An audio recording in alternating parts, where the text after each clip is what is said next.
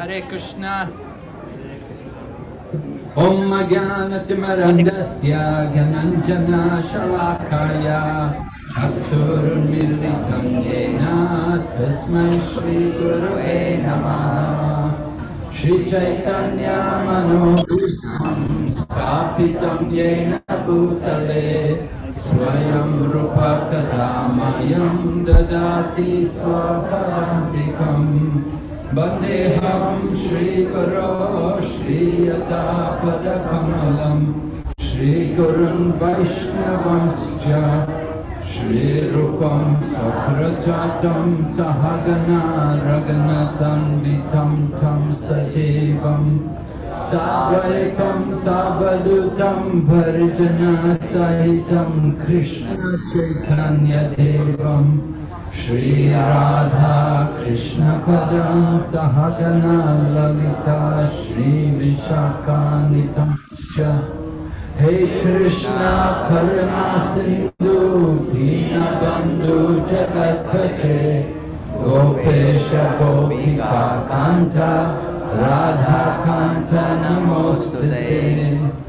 प्तकाञ्चन कोणी हे Radhe Vrinda Maheshwari वृषापानुसुते प्रणामे हरिप्रिये।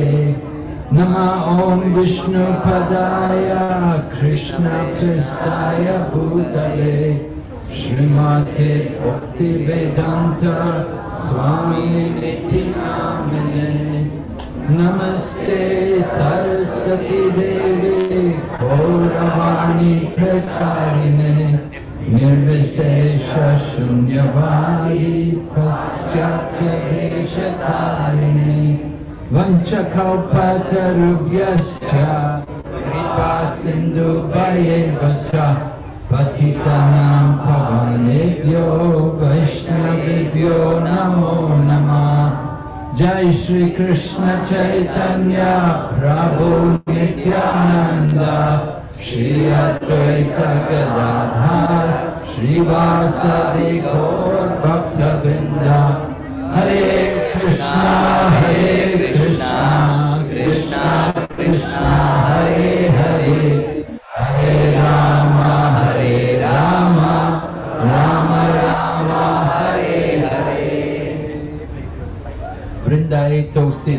Priyaye Keshavasya Cha Vishnu Bhakti Pradidevi Satya Vacha Namo Namaha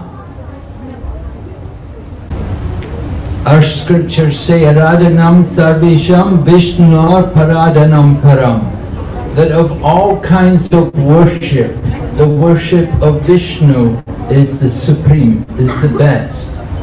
But then the scriptures go on to say, Tasmat Parataram Devi Tadiyanam Samacharam. That even better than the worship of Lord Vishnu is the worship of those things in relationship to Vishnu. So this Tadiyanam, this is the worship, means worship of Tulsi Maharani. Tulsi Maharani is in relationship to Lord Vishnu just like you've been doing here the marriage with Tulsi and Shalagram. So the worship of Tulsi is very special because it helps us to get devotion. When we offer the arti to Tulsi every morning, we sing the Tulsi song we offer our respects to Tulsi. We say, I beg you to make me a follower of the cowherd damsels of Braja. Please give me the privilege of devotional service and make me your own maid servant. This very fallen and lowly servant of Krishna prays, may I always swim in love of Sri Sri Radha and Govinda. So this is a prayer which we offer to Tulsi when we are offering Tulsi Arti every day. Tulsi has devotion. Tulsi Maharani is a pure devotee. And from the devotees we can get bhakti. we want to get bhakti. Just like we like to take the dust from the feet of Tulsi and we put it on our head. The dust from the lotus feet of Tulsi Maharani. If we hold it on the head, it's very powerful. It can purify us. Takes away all sinful reactions. We are here in this material world because we have some faults. We're not pure. If we were pure souls, we would not be here. The pure souls are all in Golok. We're here in the material world, Mrityuloka. This planet Earth is called Mrityuloka, place of death. Everybody dies here. We all have to die, right? We take birth, we have to die.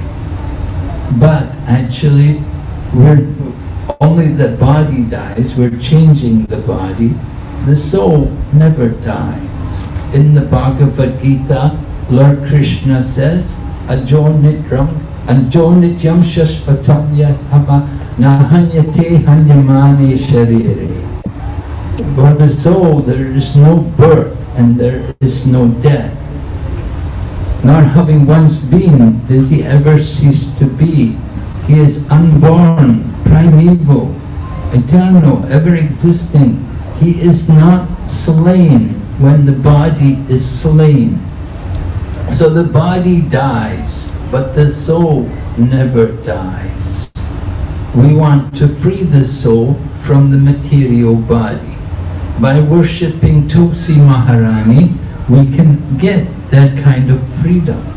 Tulsi has pure devotion for Lord Vishnu and Lord Krishna. And by worshipping Tulsi Maharani and respecting her, then we can get that devotion. She has the power to give it to us. So many devotees now are keeping Tulsi in their homes. And we're very fortunate that here in this country, it's a good climate to grow Tulsi. We can see how the Tulsi is grown nicely here. And many manjaris. You can see here on the top, the, the buds on the top, these are the manjaris. So when you worship Shaligram, if you have shaligrams, shaligrams are worshipped by the brahmanas. So the shaligram likes the offering of the Tulsi Maharanis. That is the proper offering. You take the two leaves and you take the, the flower on the top of the Tulsi and offer it to the shaligram. And in this way, Lord Narayan, in the form of shaligram, is pleased. In Bhagavad Gita, Lord Krishna also speaks about Tulsi. Lord Krishna says in the Bhagavad Gita, Patram Pushpam Palam Toyam. Right? He said, you should offer me a leaf, a flower, fruit, water, with love and devotion. Now, when he says Patram, we should understand that Patram is not just any Patram, but it's this Tulsi Patra, the Tulsi leaf. This is what is desirable by Lord Krishna. Lord Krishna will not accept the offerings unless there is the Tulsi leaf there on the offering. When you put the Tulsi on top of the offering, then Lord Krishna is pleased. He's so the worship of Tulsi is very important for us because we want to develop devotion. We want to develop that devotion for Lord Vishnu or Lord Krishna. All the Vishnu temples and Krishna temples, they will all keep Tulsi there. Tulsi is always worshipped in the temples of Vishnu and Krishna. And Srila Prabhupada went to America in 1966 So he didn't take Tulsi with him. He went to America and he began the Krishna consciousness movement. At that time there was no Tulsi. Later on, Prabhupada went to Hawaii. So he found in Hawaii there were Tulsis growing there. So Prabhupada said, he said maybe, he said maybe in the past yogis used to live there. And Hawaii is an island, you know, in the middle of the ocean, and a lot of fruit grows there, papaya and pineapple, mango, these things grow there. So yogis, they can live like that, they can live on fruits. Like now it's Bhisma Pancha. This is the last five days of the month of Kartik and also the end of the Chaturmasya. So for the five-day period, many devotees are just simply fasting. Some are taking only fruit and some others are taking also roots. It's a, a little tapasya. And by doing tapasya, we can get purified. In the Bhagavad Gita, Lord Krishna explains that acts of sacrifice, penance and austerity should never be given up. And similarly in Srimad Bhagavatam, Lord Rishabdev also was instructing his 100 sons. Lord Rishabdev's oldest son was Bharat Maharaj, of whom India was named after. Bharat, he was, he became the emperor of the world. So he was the son of Rishabdev, who was an incarnation of Lord Vishnu. So Rishabdev was preparing to enter into the forest, to enter into the Vanaprastha ashram. Vanaprastha comes after Grihastha. Now, many of you are in the Grihast ashram. After the Grihast ashram, Vedic system is to go on into the Vanaprastha. Means retired. You give up your material duties and take up more spiritual duties. We are all spirit souls and we have duty. We have our, we, we talk about Sanatan Dharma. So what is our Dharma? Our Dharma is not just simply only working all day, but our Dharma is to understand the relationship with the Supreme. And that means to engage in bhakti yoga or devotional service. Bhakti yoga. This, this is the tapasya for people. We have to do a little austerity. A little austerity means in our Krishna consciousness movement we talk about tapa to means to give up pride, to become humble, to become humble, not to be proud of our material existence and our material possessions. Whatever we have in this world is all temporary. We have to understand our spiritual nature, that we're all spiritual beings and we have an eternal relationship with the Supreme, with Bhagavan.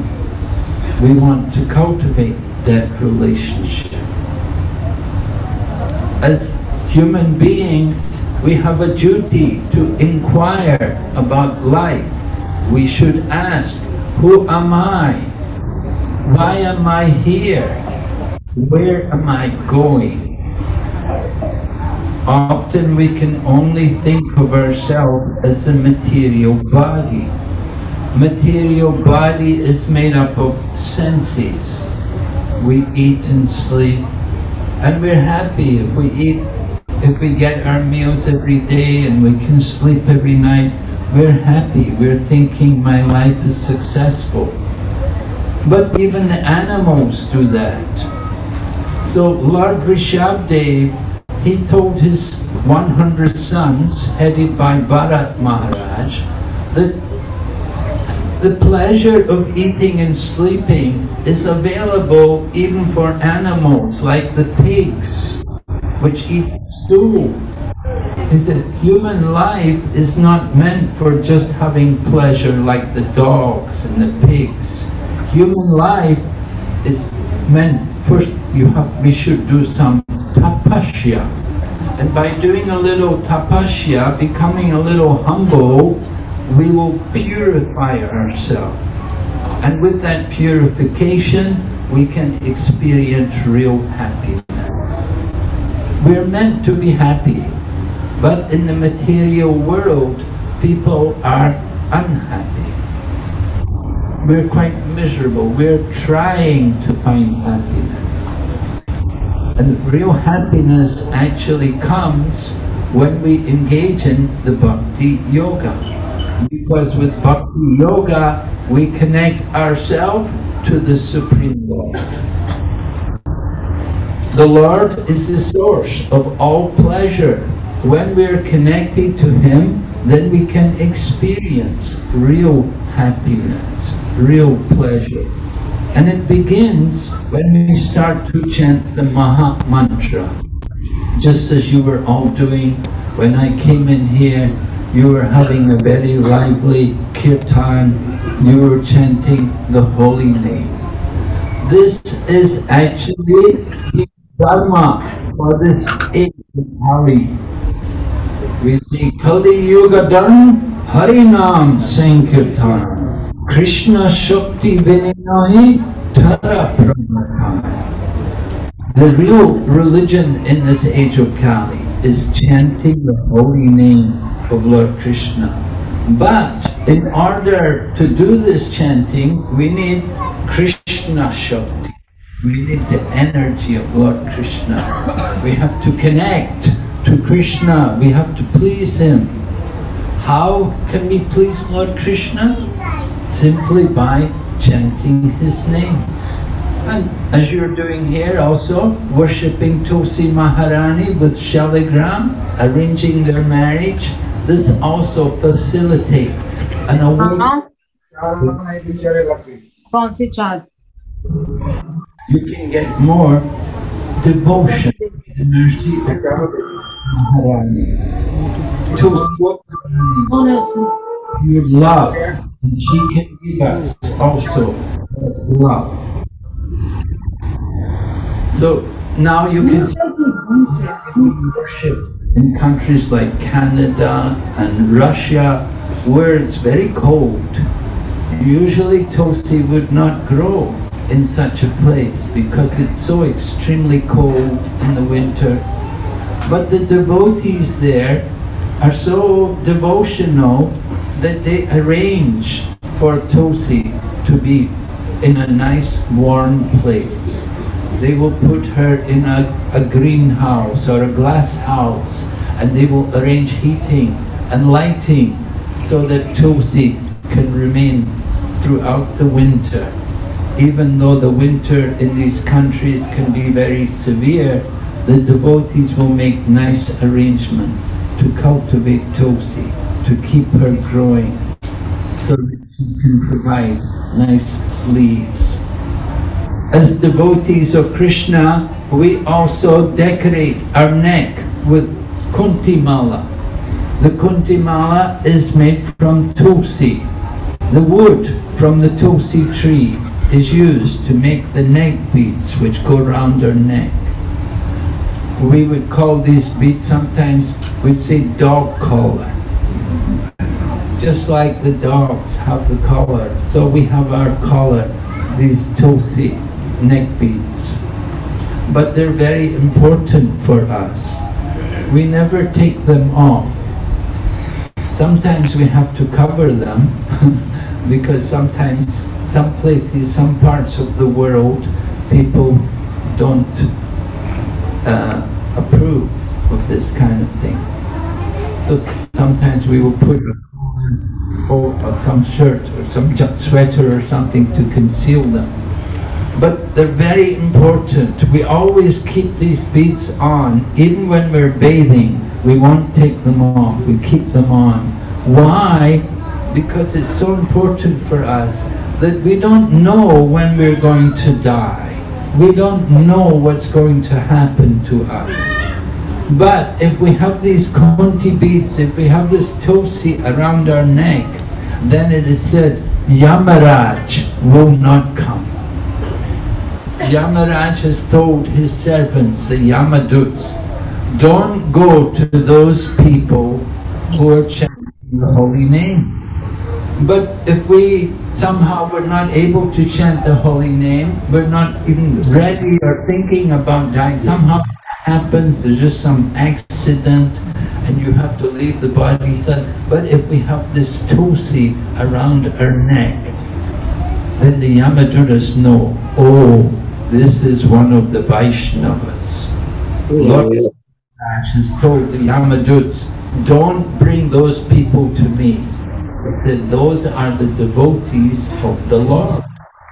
They don't come to me. So very important for us that we always have these tulsi neck beads around our neck. We also chant on the Mahamantra, we have our mala in our bead bag. And the mala beads at the time of initiation, usually, uh, with the diksha, we will give tulsi mala.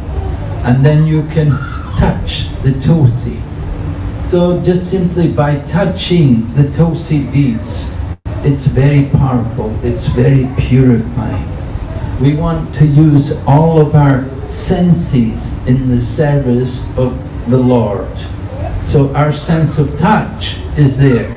So when we touch the beads, we're able to connect our sense of touch to the spiritual energy. Tulsi is completely spiritual. She is a pure devotee of the Lord. Although we may see, oh, she's just an ordinary plant, we're not seeing her spiritual position. Actually, Tulsi Maharani is very, very great devotee and very, very dear to Lord Krishna. The leaves of Tulsi can be placed on the lotus feet of Lord Krishna or Lord Vishnu. Only Vishnu Tattva can take Tulsi leaves on their feet on their lotus feet. No other personality. We should never put Tulsi on the feet of any other ordinary person. It is only for the Lord to decorate his feet. When the four Kumaras, the sons of Lord Brahma, they went into the spiritual world. They went into the Vaikuntha realm. So they came to the, the doorkeeper, it was actually the seventh doorway, and there were two doorkeepers there, Jai and Vijay. And they wouldn't let the four Kumaras come in to Vaikuntha. So at that time, Lord Padmanabha came there. Along with the goddess of fortune, Lord Padmanabha came to see what was happening. Because the Lord knows everything. And he knew that the four Kumaras had come to visit him. So he went to the doorway to see the four Kumaras. And when he came there, the four Kumaras, they, the aroma of the tulsi leaves mixed with saffron from his lotus feet entered into the nostrils of the four Kumaras and they experienced a change in their body and in their minds. Simply by the aroma, simply by that fragrance, the smell which is coming from the tulsi leaves, it entered into the nostrils of the four Kumaras. And there was a change in their body and in their mind. And that awakened their devotion. And so there are many miracles in connection with this Tulsi tree.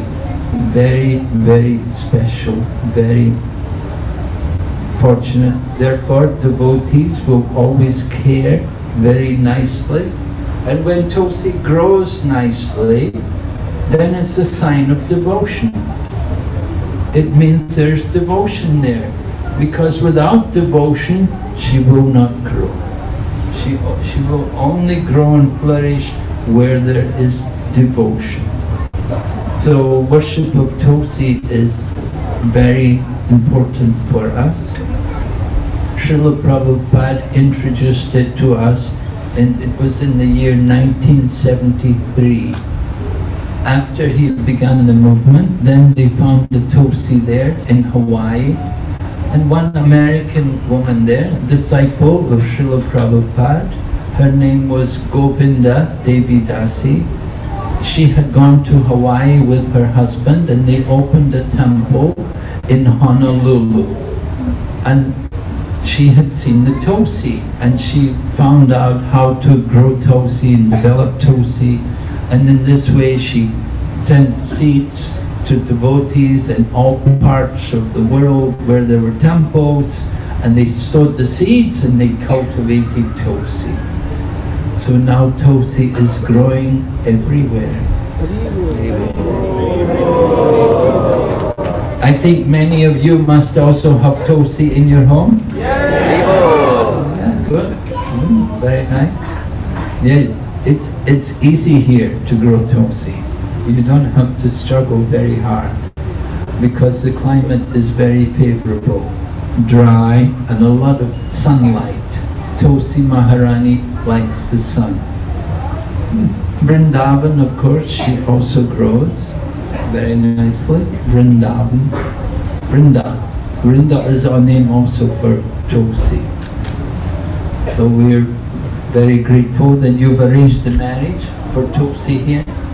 You have her married to Shaligram. Very nice. This, we, we, if you have a daughter, then you want to get your daughter married. So here also Tulsi is like your daughter.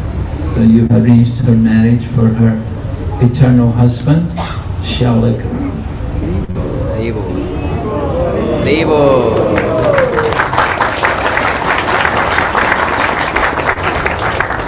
So we encourage you, go on and worship Tulsi and continue to cultivate your devotion.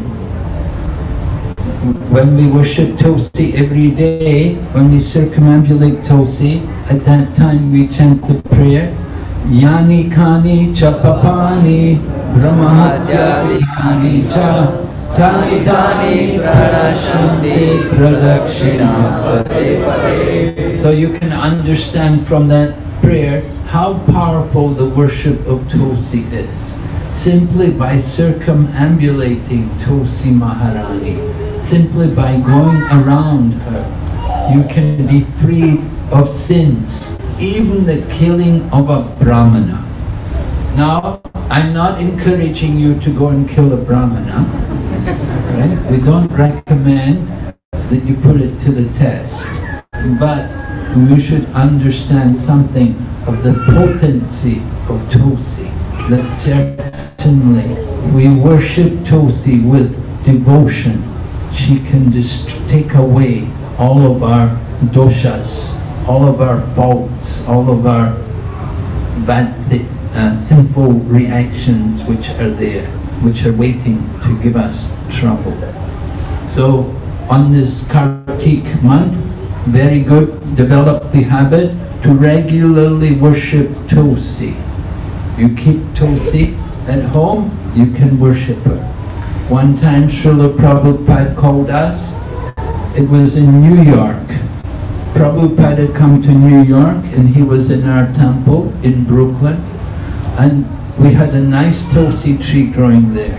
And Prabhupada would always want Tulsi in his room. So Prabhupada said, actually said, this is all you need.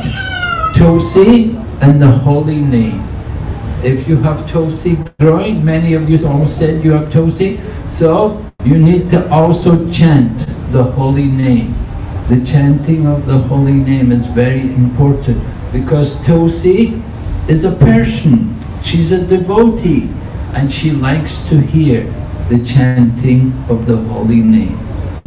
So even if you don't have taste for chanting, chant for the pleasure of Tulsi Maharani because she does. She has taste and she likes to hear the chanting of the holy name. So if you continue in this way, worshipping Tulsi and chanting the holy name, then certainly your life will be successful and you can all go back to Godhead. Krishna is waiting for all of us to go back to be with him in, in Goloka. So just continue as you're doing today. You just continue, make it a regular habit to worship Tulsi and to chant the holy name. And this way, Srila Prabhupada will be very pleased, Lord Krishna will be very pleased, and certainly our life will be a great success. Thank you very much. Hare Krishna.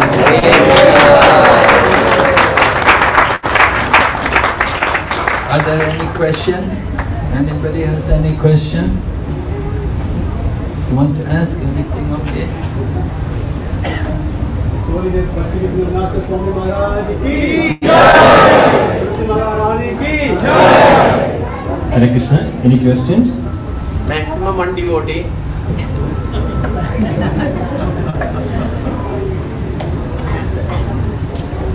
I have a question. Maharaj, thank you so much for enlightening us with the glories of Tulsi Maharani.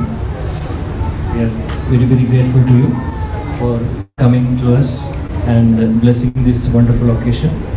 Maharaj, my question is that you had mentioned about mentioned about uh, offering Tulsi on lotus feet of Krishna and Vishnu. So, how about offering the Tulsi to Sri Chaitanya Mahaprabhu?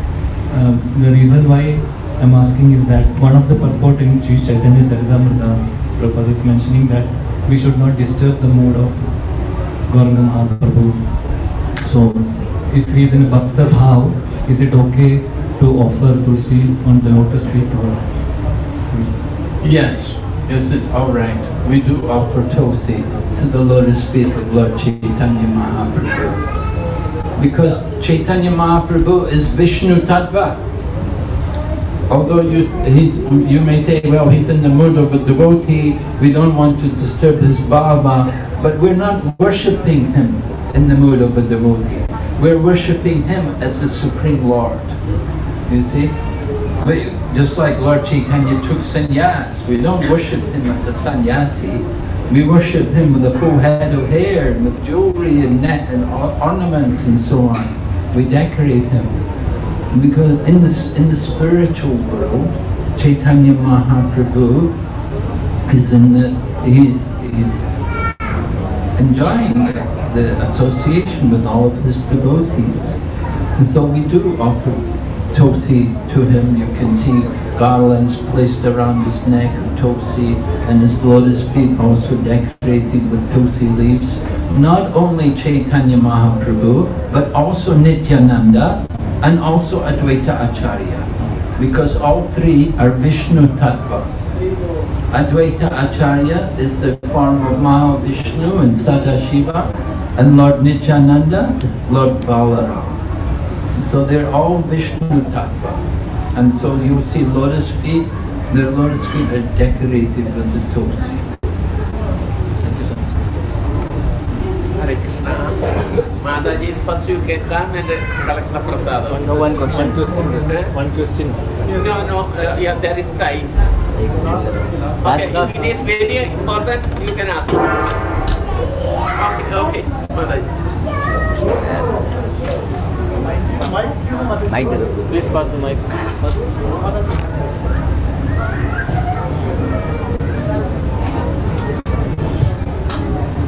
First of all, I would like to say Namaste Guru. um, it's not about question. Just I want I want you to encourage me. I have lots of negative thinking in every situation. So how can I stop this negative thinking? I have lots of like uh, negative thinking. I play with lots of negative thinking. I try to stop it, but I don't know how I can stop. Please, can you encourage me regarding this? Yes, you have doubts, you, your negative thinking are doubts, right? So Lord Krishna is Madhusudan. He's the killer of the demon Madhu. And your doubts are like the demon Madhu. So Lord Krishna, he can kill the demon of doubts. How will he kill the demon of doubts? By the knowledge which he gives. You should read the Bhagavad Gita. If you read the Bhagavad Gita, then it will help you to conquer your doubts and the negative thinking which comes in your mind. You have to hear from Krishna and from Krishna's devotees. So when you hear from them, they will help you to counteract all the doubts. The doubts are coming due to ignorance, due to avidya, due to what we call darkness. Just like in the darkness of night, so you feel doubts, you feel insecure, you feel, you worry, you have fear. But in the daytime, there's no fear.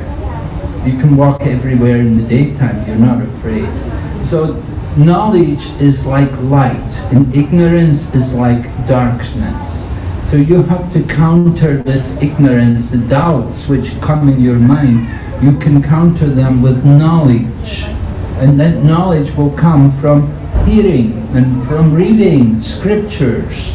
Like I said, the Bhagavad Gita. And you will also get knowledge if you will chant the Maha Mantra. If you do the chanting of the Hare Krishna mantra, then that will help you to overcome all of your doubts and your negative. The negative thinking is coming from your mind, but you're, you are not the mind. You are the soul. So your mind can be your friend, but your mind can also be your enemy.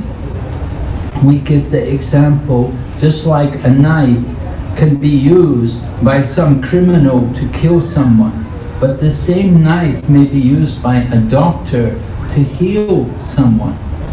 So you have to learn how to control your mind. Your mind can be the friend or it can be your enemy. When your mind thinks negatively, then that is the mind being the enemy. You have to conquer over this mind, train your mind. And you do this, you can do it, most important is by chanting Hare Krishna mantra. Are you chanting? Still not, I'm not chanting, just I'm, uh, I'm taking this step of this uh, Uh-huh. Gita, Krishna, Lord Krishna. I'm just taking taken this step.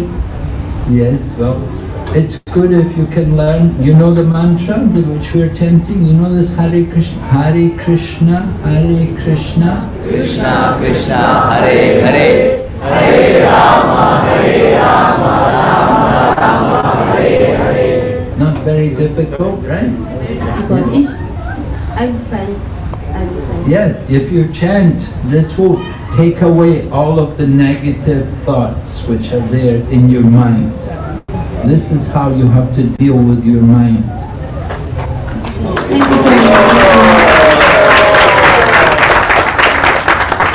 Mataji, you are having, you mala? Mataji, Mataji, you are do you, having mala? do you have any bead to chant on? Okay, bring one mala. Maharaj will give